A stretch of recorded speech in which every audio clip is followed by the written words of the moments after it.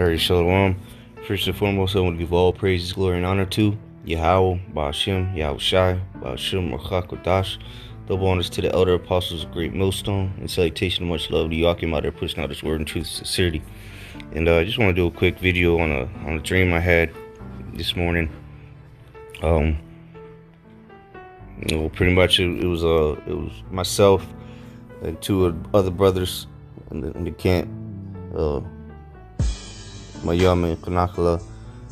And um, yeah, I can't remember exactly the what was going on, you know, around us. But I, I know we were in some kind of, you know, we were in the city. Not we weren't in downtown, but we were walking through the city.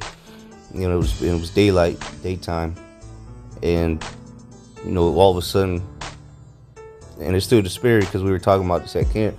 Uh, uh, we got like the Amber Alert, but it was about the nuclear missiles you know, and then you could hear the sirens in the background, and everybody's starting to run and go crazy. And uh, so, so we, you know, we start running, but we're, you know, we're screaming, you know, Kahalai, how Hapashim Shai, you know, and and we, I look up, and there's nothing but chariots. There's thousands and thousands of chariots everywhere, you know, and then there's some fighter jets, but um, the fighter jets were getting shot down, you know, and they're, they're you know, they're they're coming crashing and getting blown up so people, you know, people are getting crushed by these jets that are the chariots are destroying, and um, then you, start to see the nuclear missiles in the distance, like flying through the air. They start exploding in the distance, you know, the mushroom clouds, and then um, you know, we you know we get some separated, you know, you know, there's so I can see them in the distance, the two brothers, and then I look I look back one, you know, to the sky, I think, and um, you know, we're, we're, I'm still yelling "Kahalaya, how about you outside?" And then when I look back, you know, they were gone, and I was like, "Oh shoot, what happened to them?" I, and I thought they they had got crushed by the jets or something, because I didn't see them, and then you know there was jet debris over there where they were. And then there's and then you know it started to get windy. Real, it felt like wind was, you know, it was it was a great wind, and then um, you know, that's when I realized that they the, the chariots had called them brothers up. And then I started, you know, when you ride a roller coaster, you know, you get that feeling in your stomach. You know, when you feel them G forces. Well, that's what I started feeling. And then I, as I look up, I'm literally getting carried. You know, I'm getting pulled into the cloud, into a cloud, a literal cloud. That's what it looked like. You know, and I, and as I'm going up, I'm just I'm just I'm just uh you know, yelling Brock the how, Brock the how shy. And then, you know, I literally woke up, scre- you know, screaming that, you know, I was in the middle of saying Barack, you know, Barakata. And, and that's when I woke up.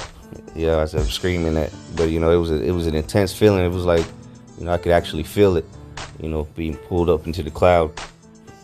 But yeah, that was, it was, it was a crazy spiritual dream. And the Lord's will, that's a vision of how we're going to be delivered, you know, my taste of it. But yeah, I'm gonna go ahead and uh, bring out some scriptures. All right, so um, you know, continuing on. This is uh, I'm gonna go into the scriptures now. You know, just uh, bring out some precepts that that came to mind. You know, as I was meditating on the dream after I woke up. Um, you know, and just uh, or as well just edifying. But um, let's see where I can start. Well, yeah, I mean, we could start in uh, uh Revelation.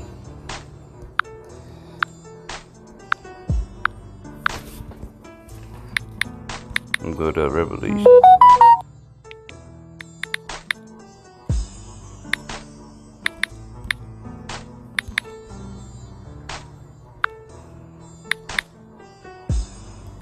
Revelation 12 and 7.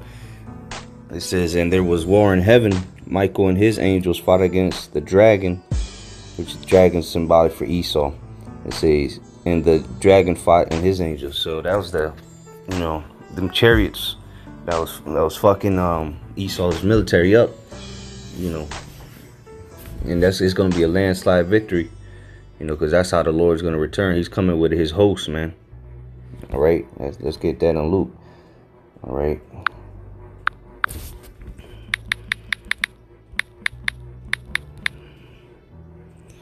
This is a Luke 21 and uh verse 20 I'll just get to the to the point. It says and then shall they see the son of man coming in a cloud with with power and great glory. All right there you go. That power and great glory is going to be his host man. And and his and him being in that angelic body you know. He cause he said he's not coming to meet them as a man so when the lord returns he's going to be you know he's going to be michael and his angels you know. He going he's going to be fighting against esau the dragon and his angels man. Is his little spaceship or you know chariots. All right their little fighter jets.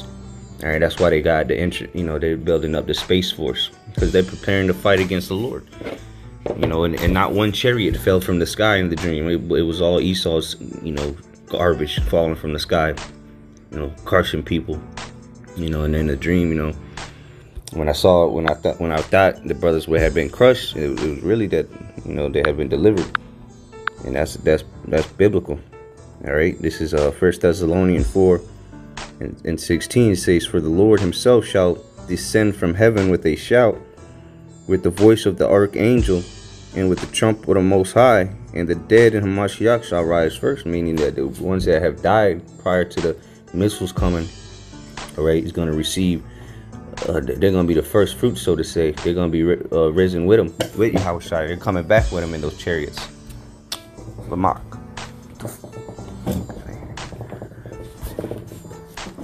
You know, let's say verse 17. Then we which are alive and remain shall be caught up together with them in the clouds. And that's exactly what happened. You know, after that, you know, that wind started blowing, which I perceived that to be them that nuclear missile, you know, was getting close, you know, the heat wave or whatever, the waves of it.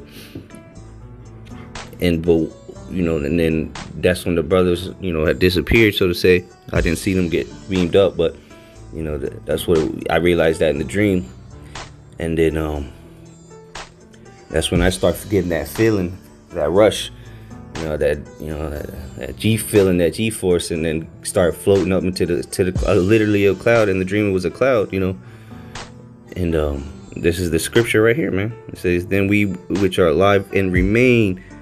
shall be caught up together and this was and it's gonna be simultaneously with those missiles man because that's what it was the missiles were blown up in the distance and you know they were far off but you you we we see them start blowing up man. And people freaking out while we're over there praising the lord.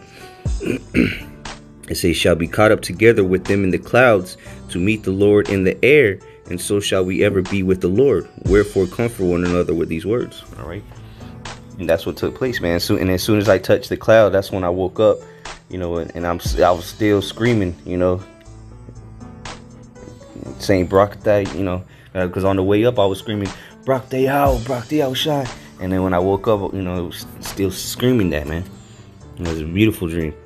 But what you know that showed me that hey, you, you can you literally have to endure like the scriptures say, Mark 13 and 13, and ye shall be hated of all men for my name's sake, but he that shall endure unto the end, the same shall be saved. And it literally was the end, man. The nuclear missile was on the way. You know, that wind started blowing. All right. But what I would to that to that till I started floating up, and even then I was still praising the Lord. All right, you know, and Lord, the Spirit, the Lord keep on me in these in these last days.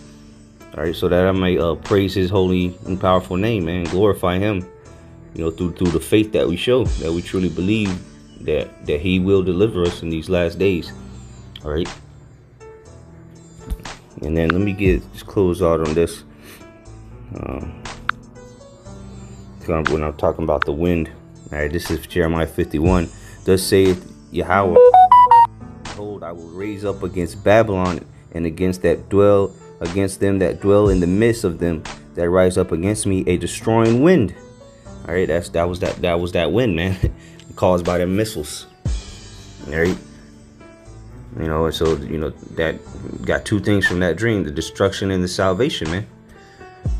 And you know, seeing the chariots, man, the thousands and thousands of chariots flying through the air. You know, I remember we got it when we right before the missiles started coming. You know, And we got that. It was like an Amber Alert. You know, that was crazy. And then the sirens went off. You know, we were the only ones praising the Lord in the vicinity. You know. And then that destroying wind came. And that's what's gonna take place in these last days, man. That's this is exactly how it's gonna go. Not exactly how it's gonna go down, but that's what's gonna happen, man. The nuclear missiles, the the fight in the air, you know, and then ultimately the salvation of the the, the, the elect. All right. So with that, you know, Audubon side is edifying and exhorting to you brothers. Keep pushing. Shalom.